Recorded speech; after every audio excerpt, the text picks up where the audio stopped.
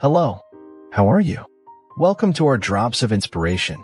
Today, we are going not only talk about meditation, but also reflect on something very important. You, and what have you been doing to your life? Before talking about meditation, I would like to ask you a question. Imagine that a doctor told you this. Sorry to say that this way, but you have only six months to live. What would you do if you had only six months to live, to take care of your dreams, and to leave a message to this world when you're no longer here? I know that it is a weird question. Nobody likes to think about the idea of loss or that we may not be here from one moment to another. And in this example, I'm giving you six months.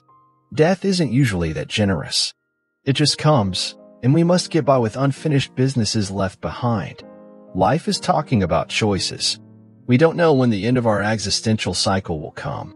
Do you agree that instead of being concerned about the fact of when I'm going to die, it's much wiser to value and live life to the fullest? Then, regardless of when the end of this cycle comes, we are whole, connected, and happy. Imagine yourself as a fulfilled person in all aspects of your life. You get up every day with great energy to carry on your projects because you live a life you believe in, work in a job you believe in, have a family that you love, and have habits that you have the greatest existential pleasure of practicing. Why? Because you've learned how to live a life that makes sense. On the contrary to what it seems, a life of this level is closer to us than we can imagine. I realize, in all these years that most people believe in many myths about what's possible or not to do to have an aligned life. One of these myths is that we must be perfect. And a perfect life exists only when we don't have problems or hardships. Of course, since this doesn't exist, people think they'll never be able to be in peace. That's far from the truth. We don't have to be perfect. We don't have to be always right. We don't have to be happy in every second of our lives or in love in every relationship. This is not our duty. However, we can align ourselves as long as we live each experience in the best way possible. Regardless of the relationship you are in, whatever happens, you can be whole. Regardless of the professional experience you are currently experiencing, working in a company, or if you opened a new business, you can be whole, totally connected. To make it possible, we need to learn how to align our deepest thoughts with our most sincere feelings and a worthwhile life purpose with balanced emotions. And that's where meditation comes in. Meditation is an ancient exercise. It has existed since the world has been created. It has been reported that human beings have been meditating on earth since the earliest days of history, connecting mind and body, connecting life's spirit with their purpose to live. Meditation, as incredible as it may seem, is easier than we imagine. Of course, there are many techniques, but my goal here is to give you simple tips, a step-by-step guide, just to get you started in your inner journey in a very serene way. The idea is that everything we need is within our reach, and then we can start living the life of our dreams now, and not in five, six years, or 10 years, or the worst case scenario when learning that you have only six months to live to finally start living a life that makes sense. Let's go. Shall we start meditating? First, find a suitable place where you feel good and at peace, especially if you've never meditated. Once we learn how to meditate, we see that it's very simple. Nowadays, I meditate anywhere. However, for those who are starting, it's always important to be in a quiet place. So pick a place. It can be at your home. It can even be inside your car. A quiet place preferably, where nobody is going to disturb you during the process. Second, choose a simple position with your legs. The most common one is called the half lotus position. This one is the yogis and meditators' famous position, which is the lotus position. Why? Because it makes the spine straight. The great deal about meditation isn't the legs, it's the spine. The spine must be straight so that you can have your mind constantly alert. By having an alert mind, you can connect with your essence and pay attention to it. Therefore, choose the best position for your legs with the spine straight.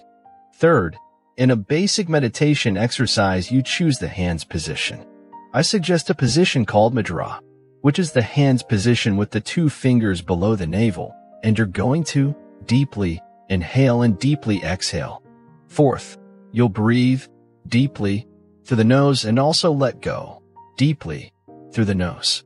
Keep noticing the air coming in and the air going out, the air coming in and the air going out. People ask, what do I do?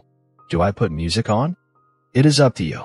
For example, if you are in a completely quiet environment, you can pay attention to the very gentle noise of your breathing as the air comes in and goes out through your nostrils. Therefore, if you think it's more convenient, there's no problem with meditating with soft music, preferably of sounds of nature, at a very low volume, so that it can help you relax more. Do the test. Find the best way for you. Fifth, what's important is that, during meditation, while you have your eyes closed, you pay attention to the air coming in through your nose and going out. Why is that? Our mind is very hectic. Thus, as long as you observe your breath, you prevent your thoughts from wandering and from flying around the better. For sure, they'll fly. That's the great flair of meditation. No matter the number of times that your thoughts wander everywhere, bring them back to your breath. Bring your attention back to your breath, gently, smoothly, and wisely. I'm meditating and I'm thinking about a bill to pay. Bring your attention back to your breath. I closed my eyes and started thinking about problems that I must solve in a while. Bring your mind back to your breath, and so on. If you need to bring your mind back to the breath 50 times during the process, bring it 50 times without losing your serenity, keeping your peace of mind, and your inner balance.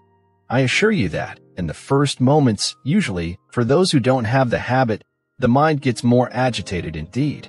However, as time goes by, if you can keep your posture for 5, 10, or 15 minutes in silence and serenely, automatically your mind will slow down. It doesn't suddenly stop. It slows down slowly until it stops. The human mind is the same. Imagine us, all full of problems, worries, and anxieties. The moment we calm down, thoughts slow down, and we start entering into the emotional environment of well-being, inner serenity, and peace of mind. The best is to stay, at least, 20 to 30 minutes doing this exercise.